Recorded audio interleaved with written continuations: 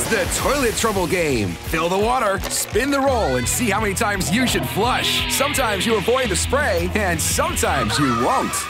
Face the flush with the toilet trouble game. Ages 4 and up, adult assembly required.